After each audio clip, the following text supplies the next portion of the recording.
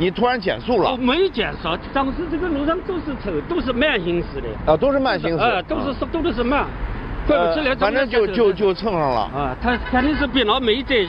镜头前的男子在与警方谈论着事故责任的划分。男子表示，对方车主可能开车的时候没注意，才导致了追尾，所以这起车祸事件肯定是对方的责任。但是站在一边的女司机却表示，如果不是对方车主突然减速，自己也不至于直接撞上去，责任还是要交警判断。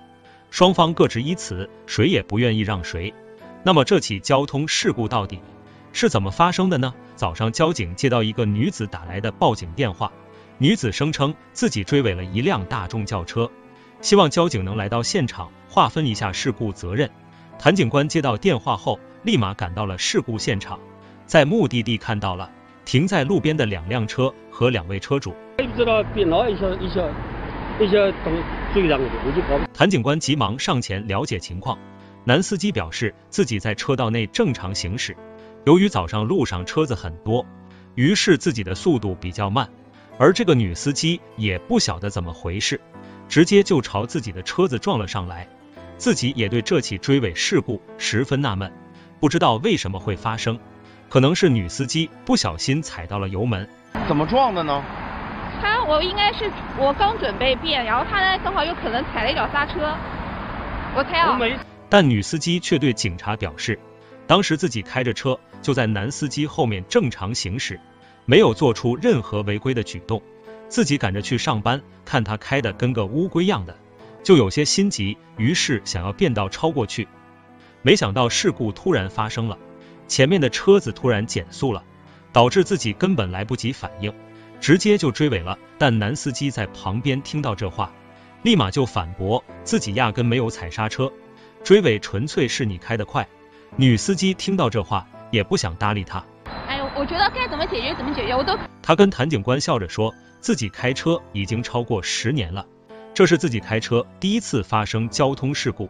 他也很是爽快的表示，自己愿意走任何程序进行赔偿，该怎么解决就怎么解决，自己绝对不会逃避责任。他说他要急着走，又不愿意跟我去理赔中心，然后我说那你说怎么办？他要叫我给他现金，我说嗯，那你现金啊？对，我说现金，那你要多少钱？他说你看着办。我说令女司机无奈的是，在调解中，男司机始终是一副不耐烦的表情，一直表示自己有急事，不愿意去理赔中心，直接现金赔偿就行了。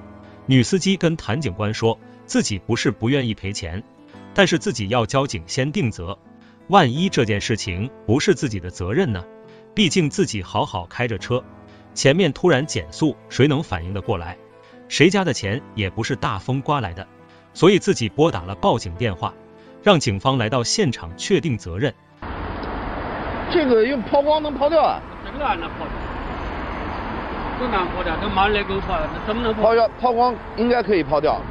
那这样的，那你现在什么要求呢？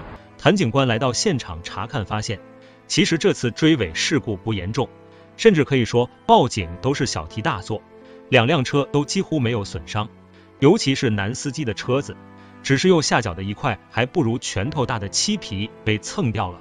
谭警官直言，这一小块地方抛光就可以了，但男司机简直就是杠精在世，对谭警官的话又提出了反驳，直言抛光并不能解决问题。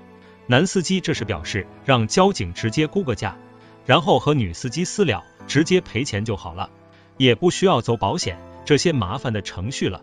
但是理赔多少，谭警官也拿不定主意的，毕竟不是专业人士。于是他先询问男司机，希望女司机赔偿多少。我就知道多少钱，我也不敢随便说，万一说错怎么办？都要有事的。没想到男司机又开始了扯皮，不愿意说出自己内心的想法。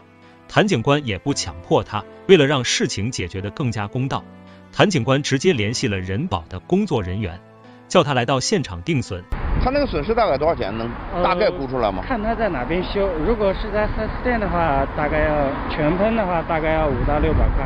嗯，如果汽修厂修修的话，两百块就好了。人保的工作人员表示，车辆维修的具体价格要看男司机想到哪里去修。如果要去 4S 店，那么肯定是全车重新抛光喷漆，这个价钱就大了。但是如果只是随便找家汽车维修点，两百块就可以搞定了。你怎么可能呢？两百块我干呢？我那个四 S 店，我跟你去，要你钱，我又不是讹你钱，对不对？我们开这个早上都有事，你我就要赢，你我那么公安这这个这两百块钱怎么补？没想到工作人员刚说完，男司机就立马生气了，他大声的指责工作人员，刚刚说的话是信口开河，自己的车两百块根本就不可能修好。那你说多少钱呢？我说我也不知道，我也不想。你既然不知道，他们是专家，他们保险公司。那人家说的你说错，然后让你说你又不知道。交警听到男司机质疑专业人士的鉴定结果，于是再次询问男司机的想法，但男司机又改口说自己不知道。谭警官直接给这个男人整的破防了，问你的时候变成了哑巴，不问你的时候声音比谁都大，真是抬杠的小能手。其实看到这里，很多人大概知道了什么情况了。女司机一开始正常行驶，男司机可能是故意刹车，也可能是无意的，反正是撞上去了。之后，女司机想直接私了算，自己倒霉赔点钱完事。